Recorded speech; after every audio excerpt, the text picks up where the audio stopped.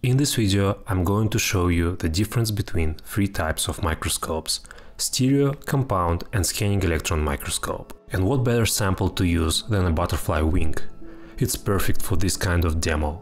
My name is Eric and I'm your microscopy specialist. Let's dive into it. Let's start with a quick experiment. We see the world in 3D thanks to something called stereo vision. We've got two eyes and by using both we can judge how far away things are. If your vision is okay, this happens pretty naturally. But the moment you close one eye, judging distance gets tricky. Your brain has to guess based on clues instead of actually seeing depth. A stereo microscope works kind of like your eyes. It actually has two separate optical paths, one for your left eye and one for your right. These two views are slightly different, just like what each of your eyes sees. So when you look through it with both eyes, you get a 3D image. But if we record through a camera, the image looks flat, because we're only using one optical path, in this case left side. Stereo microscopes don't zoom in super close, usually just up to 50 times magnification. There are rare systems that goes up to 200 times, but that's not common. The real advantage is that you get a wide field of view and a 3D look at your sample. You can also see colors clearly, I'm using a Zeiss STEMI 305 microscope with both reflected and transmitted light. That lighting setup lets me see the butterfly wing in a bunch of different ways. The transmitted light can be adjusted so I can switch between bright field and dark field illumination. So what can we tell about the butterfly wing using this microscope? We can see it's made up of little scales and hairs with different colors. We can't make out much detail yet, but we can clearly see their shape. To go deeper we need a more powerful microscope.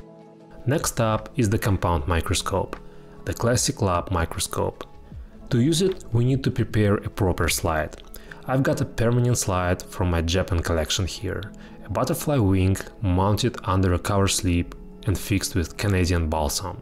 Standard magnification here goes up to 400 and with a special oil called immersion oil we can push that to 1000 times. We also have ways to enhance contrast like using phase contrast techniques.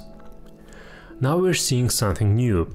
Each scale has fine internal lines and maybe even some internal structures. But here's the thing, there are limits.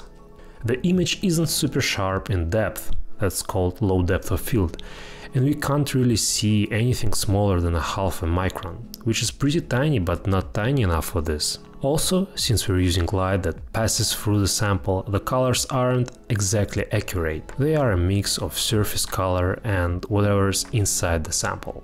Let's be honest, this is probably what you came for, the electron microscope.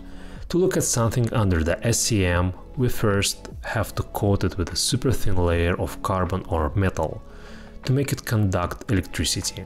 I'm using platinum for this. The layer is less than a nanometer thick, so really really thin. Then we put a sample in a vacuum chamber, adjust the electron beam and boom, we get a result.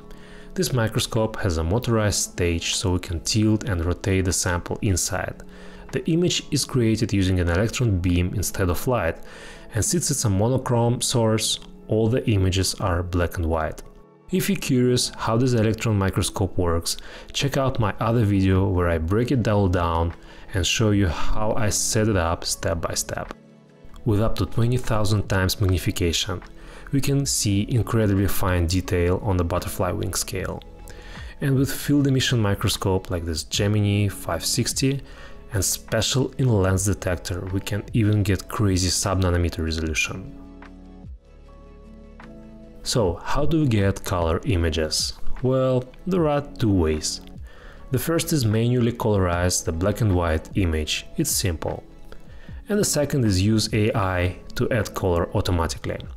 I sent a few images to Brandon Antonio and here's a link to his works. And he got some fun results with AI tools. Anyway, the electron microscope is an amazing tool. It gives us super detailed, high quality images that are incredibly useful for science and beyond. Thanks for watching. Hope you found this video interesting. In the next one I'll show you a few fun tricks, so don't forget to subscribe. Microscopy is an amazing world, and we've only just scratched the surface. See you!